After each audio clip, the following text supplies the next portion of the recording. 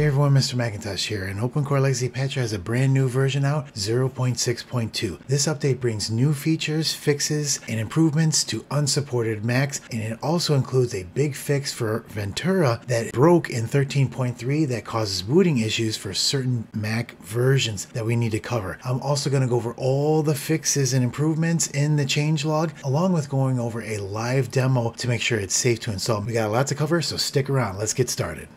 Real quick, before we begin, I wanted to add a supplemental update to the video because as I was finishing it up, Apple dropped an emergency security update 13.3.1 and macOS Ventura 12.6.5 and Big Sur 11.7.6. In the end of the video, I'm going to talk about these updates and OpenCore Legacy Patcher. So if you want information about the latest update, you can jump right to the end. You can also follow along with this video because it follows the same process that you would do for the 13.3.1 and later updates. Let's go over some some of the main summary items of the 0.6.2 update. Then we'll go over some of the fixes and then we'll go over the live demo of updating the app, updating the OS, the EFI OpenCore, and the root patches later. So first of all, there was a big problem with macOS Ventura 13.3 on certain Ivy Bridge, Haswell, and NVIDIA Kepler based GPU models. And what would happen is, is after you install the 13.3 update, it would cause a problem and then the screen on the next boot up after the OS was installed would stay on a black screen and you could not get back into the operating system. This was a huge problem. It took a lot of work by Mykola and the developers to fix, but we're going to have to go over some instructions on how to make sure we follow the proper procedures to update the right way,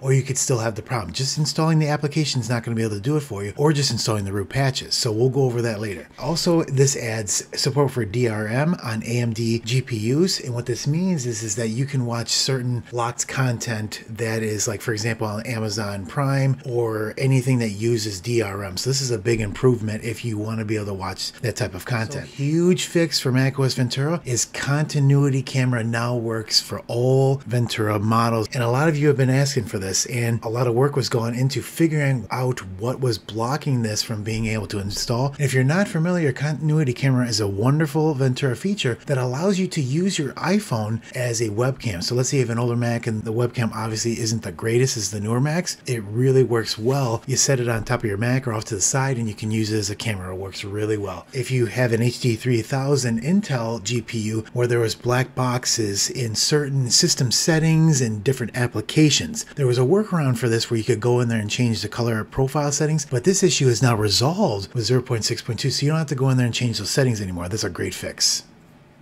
I wanted to highlight this note that Mykola put in here. Um, we are at now 13.3 for macOS Ventura. That's like the halfway point before we get to macOS 14 release this fall. Ventura has been causing a lot of problems for the developers, and it is working now with 13.3 and 0.6.2 to be expected. Many of these features are still in active development. This is a community driven project, and as such, we ask users to keep expectations in check and use Monterey if you encounter any issues that affect you. See the individual sections for more information information. So what does that really mean? If you rely on your machine for the most functionality possible, the recommendation is to still hang out on macOS Monterey right now. It has the most support. Most features are still working very well. And, and Big Sur, if you still are on Big Sur, still works great. If you install Ventura and it's working very well for you and you're not encountering any of these issues, then you're fine. But there's definitely people upgrading to Ventura and maybe there's certain application or something that they're using a very specific feature might not be acting the way it was in Monterey, and because all this stuff is still in active development.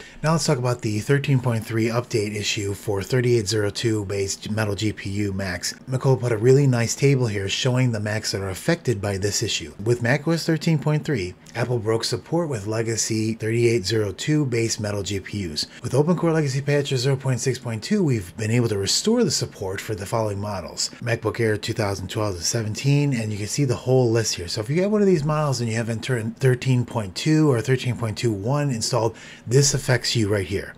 The other note in here is that AMFI has to be disabled, and if your workflow requires AMFI to be enabled, we strongly recommend staying on macOS Ventura 13.2 or older. What's AMFI? AMFI is a file checking integrity on your Mac. Howard Oakley of the Eclectic Light Company put a wonderful article together that talks about this feature that Apple has put into play to help protect your Mac. Now, keep in mind, your Mac will still run fine without this, but Mykola and the development team want to make sure that they leave every security feature on that they can while still maintaining support. But to fix this issue for now, this had to be disabled. And that, now, as mentioned earlier in the summary, the version of OpenCore Legacy Patcher 0.6.2 now has been able to restore DRM support for AMD GPUs in macOS Ventura. And here's the full model list. So that's a really great improvement there.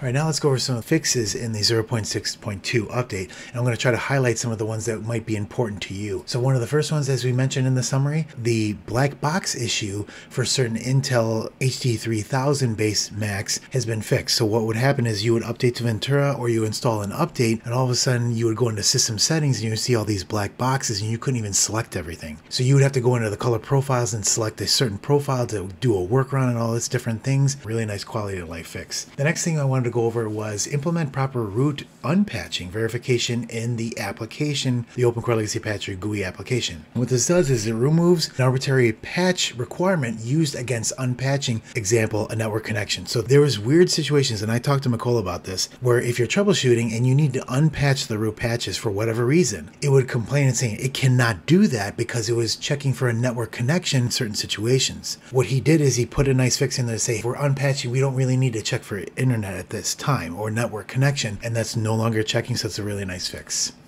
The next one is a really nice one. This one is if you have a Mac that needs the kernel debug kit installed. Instead of it installing after the full install, like let's say you perform a new install on your Mac, macOS Ventura, after you come back up, you got to download the whole KDK, you got to wait for it to unpack and install all after the OS is installed. Mykola fixed that by putting the auto package installer in there so it installed the root patches so when you get to the setup assistant, everything's nice and smooth. So that was a nice fix, but now at the same time, the KDK is going to be installed. So the auto patcher will patch the patches and the KDK will be installed. So the back, by the time you get into the OS, everything's ready to go and you do not need any network requirement for first time installs. A really nice fix here after Apple installs a macOS update, like 13.1, 2, 3, any update in the future, it blows away certain files needed of the kernel debug kit for OpenCore Legacy Patcher. So what has to happen now is that after every update, it has to re-download the KDK and install every time. In the past, if something went wrong where you're troubleshooting, you would have to re-download it again. What is done now is that there is a backup system. It backs up the kernel debug kit on the local machine. And then if it ever needs it again, it doesn't have to go out there and download the huge package again to reinstall. There's another fix for anybody that was having Wi-Fi issues. There was an update to the wireless binaries. Fix a Wi-Fi preferences crash with legacy Wi-Fi patches. There's also some non-metal updates here, and one of them is improved menu bar blur saturation, fix system settings hover effects, including Bluetooth connect button, add a books hack reimplementation cover image generation, disable broken image curl animation, and fixed unresponsive buttons. Really nice for non-metal fixes here. Now here's another one. If you have an updated AMD card for your 2009 to 2011 Macs, there's new support here for those certain cars. There's a lot of information on the Discord about this, and there's a big shout out to Ostauer Sportler for the implementation of these updates for the MXM 3.0 variants of the AMD WX3200 and the AMD RX 5500 XT and another one, as we talked about earlier in the summary, big fixes for a continuity camera because it did work on 2016 machines, but that was about it. So it was everybody under there that was tried to use it and it would halfway work, but it would never display an image. Okay, now where it says um, advanced backend issue fixes here was the implementation of logging framework usage for reliable logging. And the logs are now stored under your user folder, library logs, OpenCore patcher log. And I talked to Mykola about this, and what I would tell him was is that the application is running very well for a large amount of people. But with some people having issues with whatever situation they're having, it's kind of hard to figure out what's going on. And I said, is there any way we could implement some sort of a log? And there is definitely logging going on here when we would do root patches and stuff like that. But what we wanted was a, a proper framework to log all these issues into one place. And this is what he implemented here. That's really going to help people going forward with troubleshooting. The next part of the video we go over is Is it safe to update to the latest version of macOS Big Sur, macOS Monterey, and macOS Ventura? And that's a really important question. And it's usually one of the biggest questions I get from all the viewers. It's an important one too. And that's why there's not a problem with waiting a little bit to make sure everything's safe before you make the jump. macOS is a complex operating system and Apple's making so many changes to it, it's very hard for the dedicated team of developers to keep up with all this stuff. That's why it also takes a little bit of more time for me to come out with my videos. As you can see here, I have four different test systems to make sure everything's running okay from what I can see on my end before I come out and recommend that you make the jump on your machine. For example, we've got a Big Sur system, we've got a Monterey system, and we've got got a MacBook Pro system here that are all updated to the latest versions of OpenCore Legacy Patcher and the latest versions of macOS updates. And we've got a machine here that hasn't made the jump, and we're going to go through a full demo so you can see exactly what I do so you can follow along. So, so let's first go over macOS Big Sur. macOS Big Sur did not have any issues with the update for 0.6.2 or installing the 11.7.5 update. What's nice about Big Sur, and again, Big Sur is coming to the end of its run here, is one of the last uh, operating systems to include a lot of the graphics drivers and pieces that are needed by the system that you do not need to install root patches for. If we look into the OpenCore Legacy Patcher app 0.6.2 and we click on post install root patch here, no patches are needed.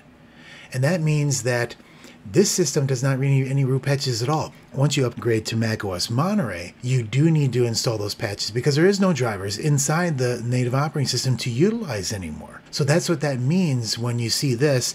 And then when you update to macOS Ventura, macOS Monterey, then you have to start installing the root patches. Now keep in mind, installing the root patches isn't the end of the world, but anytime that you have to patch the system after, some things might not work the same as when they're fully native like in macOS Big Sur. If you're on macOS Big Sur and everything's running good, there's no real major reason to make a jump to macOS Monterey or macOS Ventura right off the bat if you're doing oh well. Big Sur is going to be supported all the way until macOS 14 is released here in the fall, so you're good to go.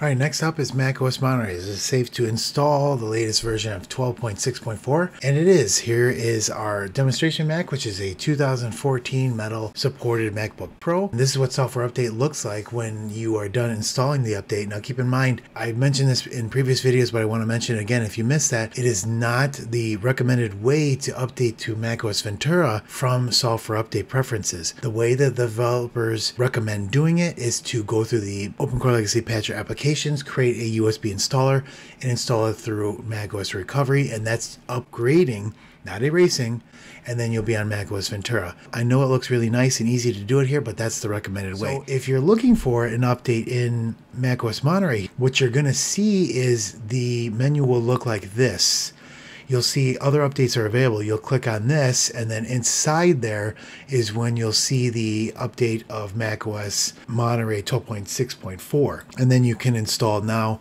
and that's how the update goes. Apple wants you to update to the latest version of the operating system as soon as possible for supported devices, but there's nothing wrong with staying on macOS Monterey. macOS Monterey is very stable, just like macOS Big Sur. And what I mentioned earlier about the root patches, we do have to start installing them now on metal based Macs because, like I said, there is no versions of the GPU drivers and other pieces that are in macOS Monterey. Apple stripped those out because they're no longer needed anymore. So that's why you'll see when you check that patch menu, all the applicable patches are already installed instead of no patches available on the 2013 Big Sur Mac that we looked at that is metal compatible. The patch is already installed. We're looking really good here and we can return to the main menu and we're good to go on macOS Monterey with no issues that I found at all.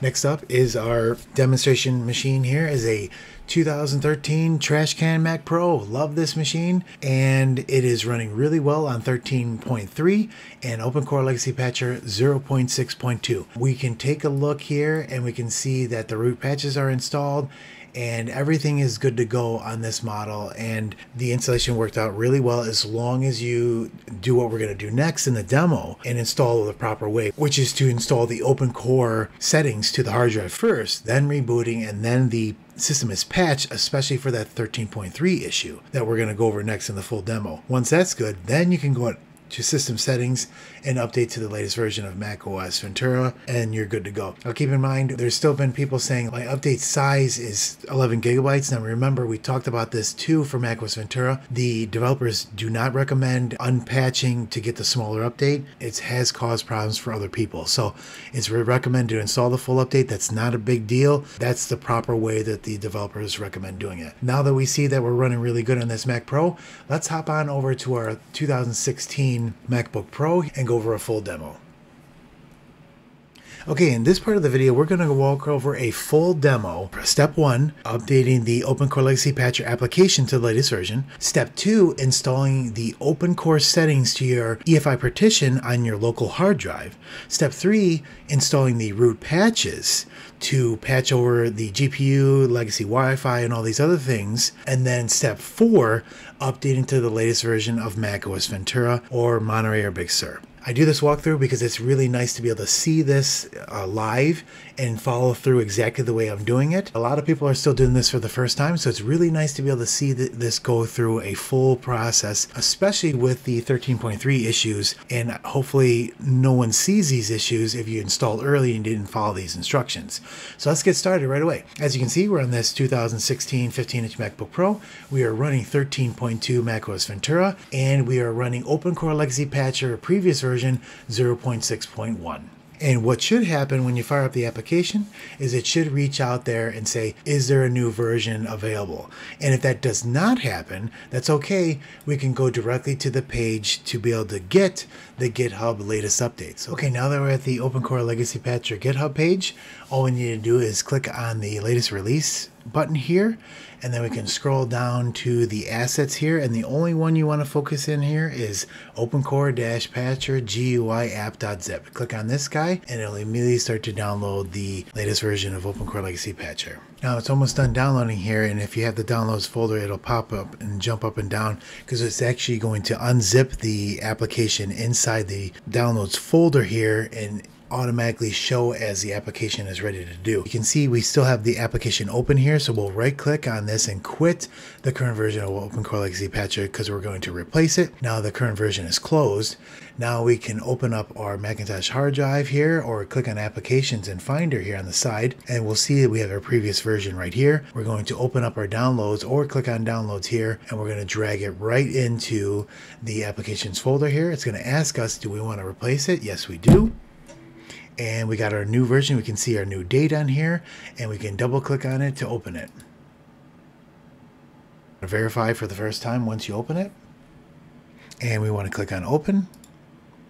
And there we go, 0.6.2. Now keep in mind, this is only step one complete. We still have a couple of more steps to do. The first thing we have to do, especially with this 13.3 issue, keep in mind, this is good practice before updating to any version of newer operating system. Make sure you're on the latest version of OpenCore Legacy Patcher before you make the jump because those always have the latest fixes in there. And always check the GitHub page to make sure that you don't see any issues for your hardware before you make the jump because a lot of times it's all called out in here just like it is on the 13.3 issue. So now that we know that we've got the latest version of the application here, step two, and that's install the new settings and the fixes to the EFI partition on the local hard drive drive. So remember that command that we used previously and that checks the version of OpenCore? We can paste that into the terminal screen here. And this is going to give us our OpenCore version that's installed on our EFI partition. So let enter on this and we can see that we've got a release of January 1st, 2022, and this is at release 088. We can check what the version that the OpenCore Legacy Patch 0.6.2 is going to be at by going back to the page and looking at the binary update part here. And down here we can see that once we update OpenCore on our Mac, it's going to be at 090. So we can see that live after we install those settings. So let's go back to the application. And if you have any custom settings in here and the settings for OpenCore, this is where you want to change them now before we install. Now, a lot of times I, I turn off the show boot picker, but you can leave that on. This is really great for if you have a Mac Pro or a Mac Mini with a monitor and the, the screen doesn't come up for you to be able to see the boot picker, leave this guy on. Remember, you can also go into the settings here and change that boot picker timeout to be higher if you want to be able to see that boot picker again uh, last longer so you can uh, change to a different OS or, or boot into Windows or something like that. So that's a really nice setting. For in this example, we're going to toggle that off. We're going to go back to the main menu and we're ready to go. Now keep in mind, a lot of people go in here and might want to change these settings. Don't change these settings unless you know what you're doing. What's nice about this is, is that when you start the OpenCore Legacy Patcher application, it looks at the exact hardware model that you're using and will set the settings that it needs to be able to perform properly without any modifications at all.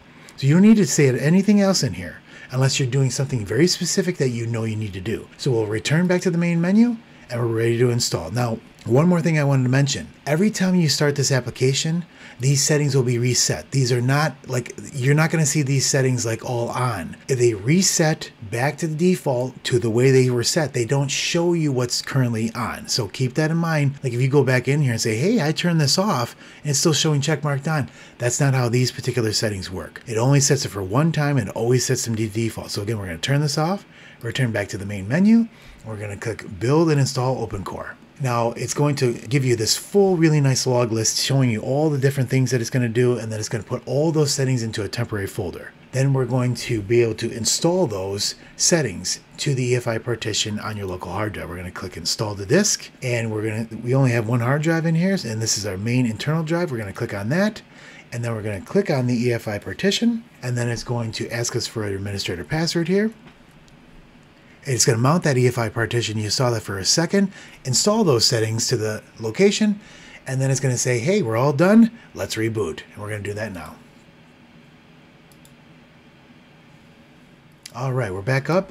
Now let's verify that the OpenCore version on your hard drive is properly updated. Now, you will see this on macOS Ventura. This is the background items have been added. OpenCore Patcher has added items that can run in the background and can change and manage this in item settings. Now, this is fine because this is the automatic patcher running to make sure that you're on the latest version. So we can actually see that live here by going into library and then launch agents. This is the plist or this is the auto launcher that it's going to do. And you can look in here. There's click on this guy, hit spacebar, and you can see all this does is run at load, and it's going to run the application support OpenCore patcher to make sure that we're running the root patches and give you warnings. So we'll close that up and let's check that version. Run that same command again, and there we are.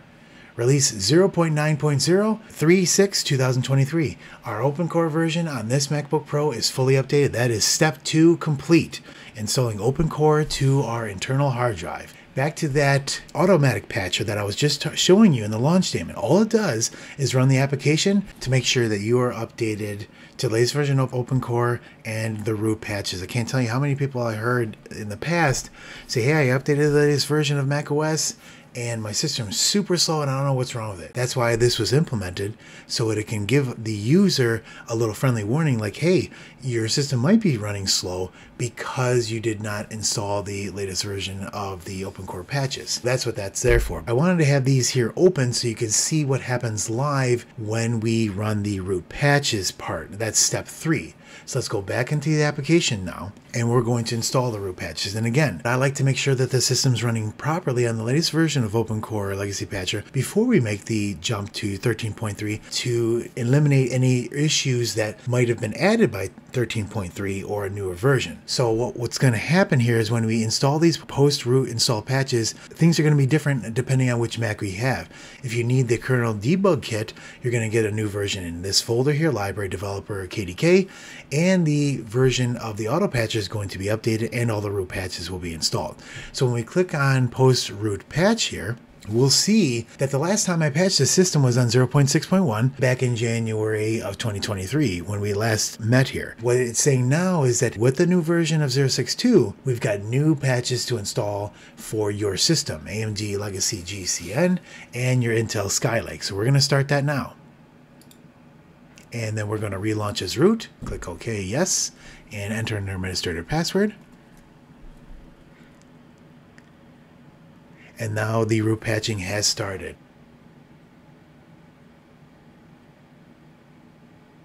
And there it goes. It updated our auto patcher here and it used the existing KDK because you can see that the 13.2 is still there. It did not need to download it and we had a lot quicker root patching and what happened was is as you can see here the version of OpenCore Patcher was updated to March 27th. So the auto patcher has been updated but the KDK is still the same here because we're still on 13.2 and that's why it used the current version that's already installed there and we did not need to touch that and that's why that date has not changed. So we're going to reboot now to make sure everything's working properly.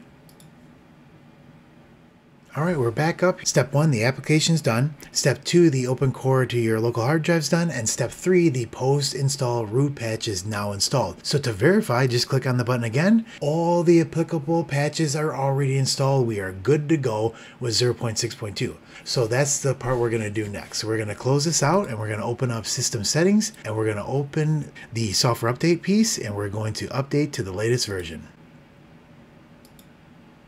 It's going to check for updates now and should show 13.3 is available. All right, there it is, macOS Ventura 13.3. We can click update now. If we can click on more info to be able to see what the update is all about, and we can see all the fixes in here. So we can either hit install now right there or just click update now. Either will work. We'll click agree here and the download will start. Again, we got to do that full 11 gigabyte install.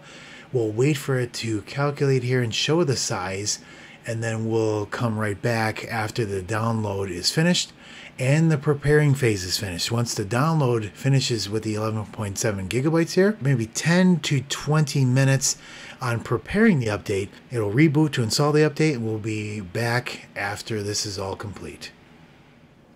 Okay, we are back up after installing the macOS Ventura 13.3 update, and as I mentioned earlier in the video, this is the message that we should see from this auto patcher right here. The auto patcher kicked off and checked to make sure that we have the root patches installed. It found out that since we installed the 13.3 update, they got wiped out and it's time to reapply them. All we need to do is click on OK right here, and then type in our administrator password.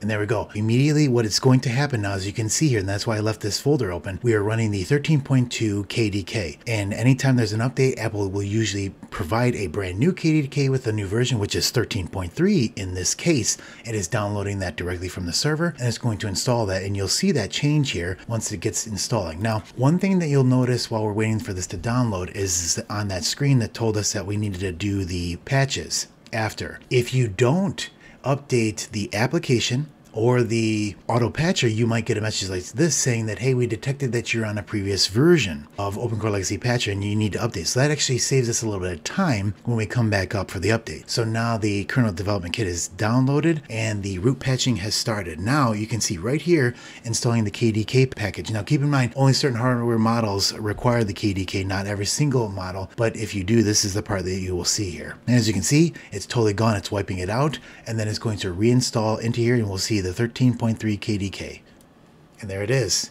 You can see that there's the backup package now. That's where our backup is stored. I mentioned that earlier. The new feature, this gets wiped out for whatever. It will not have to download it again. It'll just reinstall the backup copy that it has. Now it's going to rebuild the kernel cache and we'll be good to go and we'll reboot. And our 13.3 system with OpenCore Legacy Patcher 0.6.2 will be ready to go. All right, just finished. All we need to do is click on reboot here and then restart.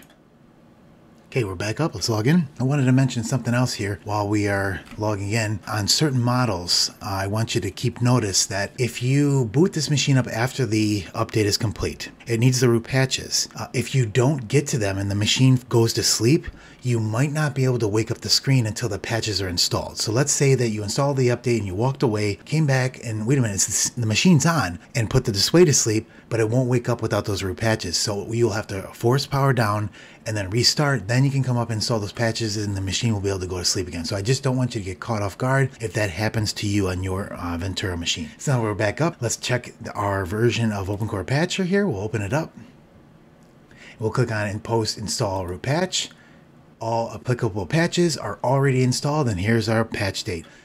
Okay, this is the update part of the video that I mentioned at the intro, talking about the macOS Ventura 13.3.1 update, the macOS Monterey 12.6.5, and the macOS Big Sur 11.7.6, and don't forget Safari 16.4.1. Only one week after the huge 13.3 update, which is the spring release, Apple dropped these security updates, and they're very important because if you look at this, Apple is aware that a arbitrary code exploit has already been actively exploited. Apple would not have gone through this big deal only one week after a huge update to put these out for iOS, Ventura, and Big Sur and Monterey if it wasn't a big deal. So there was no way that I was going to end this video without giving you the latest information on these updates. I brought my test boxes back up to date. We'll start with macOS Big Sur 11.7.6 installed just fine on this unit and OpenCore Legacy Patcher 0.6.2 is fully compatible with no issues. Now we can talk about macOS Monterey. We are updated to macOS Monterey 11.7. 0.6 and there's no extra updates here showing,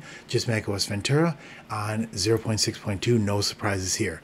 Now, when we get to macOS Ventura, there is some information that I wanted to share. When we update on AMD devices, we have to get that kernel debug kit. Since this is a very small supplemental update, Apple did release a brand new KDK 22E261, the same version. OpenCore Legacy Patcher 0.6.2 picked it up and installed on the latest version of the KDK. We've got the latest version 13.3.1, so everything went great on 0.6.2 and Mac OS Ventura 13.3.1. We'll catch you in the next video. Thanks.